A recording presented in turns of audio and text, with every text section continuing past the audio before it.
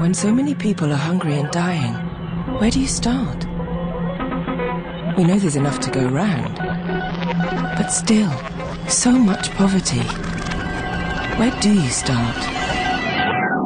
You start here.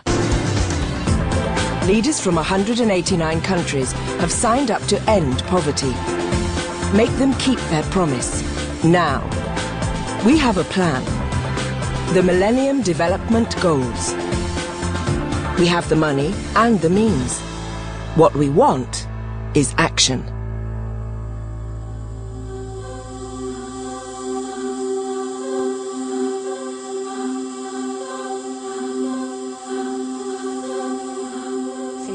When I write about stars, I try and use them differently.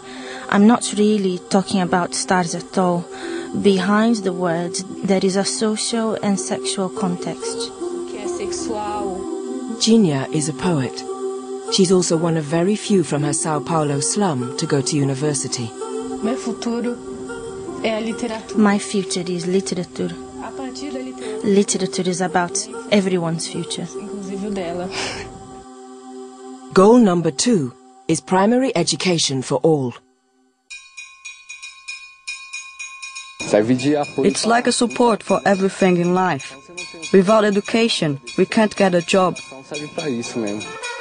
Education breeds skills and confidence, but in poor countries, one child in three doesn't finish primary school. For many kids, going to school isn't yet an option. Most of the world's poor live in rural areas. There simply may not be a school to go to. And many children have to work to help feed their families. The oldest and the little ones. I am trying to get them to school if I have money. But if I don't, well then, we'll just have to see what happens. In this Sri Lankan village, the children launched a campaign to get working kids back to class.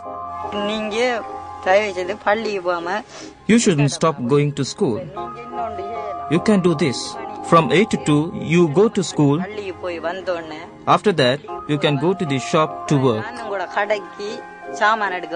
Post tsunami, it will take massive efforts to get education back on track here. But where there's kids, there's hope, even in the slums of Delhi. Deepak survives on the streets by collecting rubbish. We think that if we are educated, we could become a doctor, an engineer, or someone. This kind of hope and desire in our hearts is what keeps us alive. He goes to an informal school set up by a local night shelter, held at a train station. Deepak knows education is his way out. He and his friends even write their own newsletter. Whatever our dreams, we'll print them and we'll show the world. I know we are poor, but we've also got rights and they should be given to us. That's why our child's paper is working. We, the children, have made it.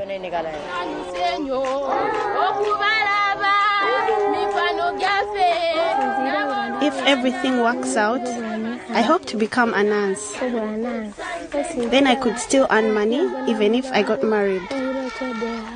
This education will help me achieve my goal.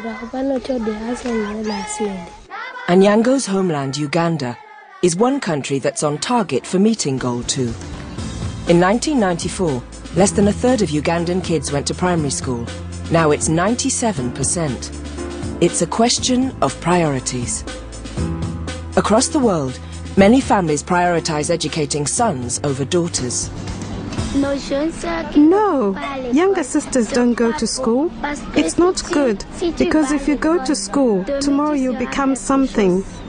Over half of all children who should be in schools but aren't are girls. This isn't just bad for girls, it's bad for nations. Educated women earn more and have fewer children with higher survival rates. They're more likely to educate their own children, including the girls. Investing in Goal 2 is investing in the future. Our poet sums it up. If I was the president, I would look into education because by providing better education, you are able to build up a nation. Goal 2 Primary Education for All. The Millennium Development Goals. Make our leaders keep their promises. Eight goals, one world, no excuses.